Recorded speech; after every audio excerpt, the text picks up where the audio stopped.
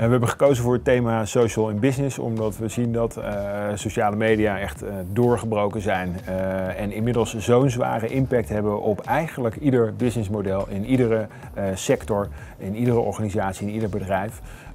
dat het tijd is om, om te kijken naar wat bedrijven kunnen leren over de impact die sociale media heeft op hun businessmodellen en op die van de concurrenten. maar niet alleen de impact te bekijken, ook te zien wat ze er zelf mee kunnen doen.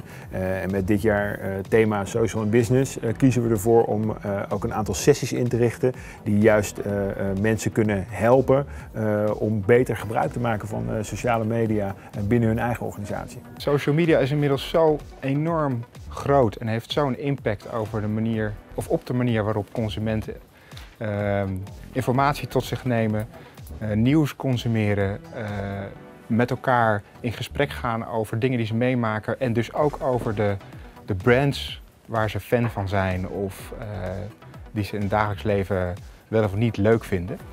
Uh, dat dat voor, uh, voor marketing, voor mensen die bezig zijn met communicatie of sales, niet meer een, een te vermijden kanaal is of, of, fenomeen is. Een hele leuke sessie uh, is met Johan Bolle. Johan Bolle is de professor die in de Verenigde Staten een onderzoek heeft gedaan naar het effect van Twitter-sentimenten op de aandelenkoersen. En die eigenlijk heeft aangetoond dat de Dow Jones-index op bepaalde elementen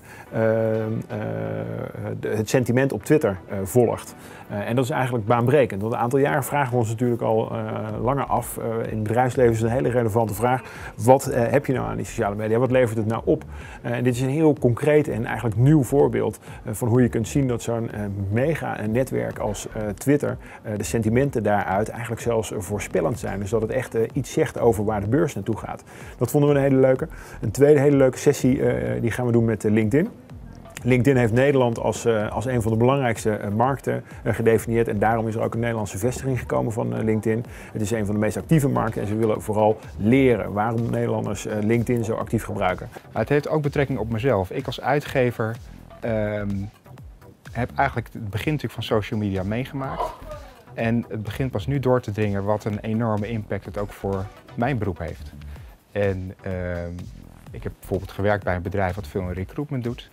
En als je kijkt wat er nu gebeurt op het gebied van uh, recruitment en social media, dan is dat natuurlijk uh, uh, ontzettend impactvol. Ook voor mensen die geld moeten, voor bedrijven die geld moeten verdienen met online recruitment en, en media in het algemeen. Het congres is eh, bedoeld voor eh, managers en professionals in eh, organisaties die bijvoorbeeld verantwoordelijk zijn voor recruitment, voor marketing, voor communicatie, voor business development en vanuit die rol de verantwoordelijkheid hebben om sociale media succesvol in te zetten voor hun bedrijf.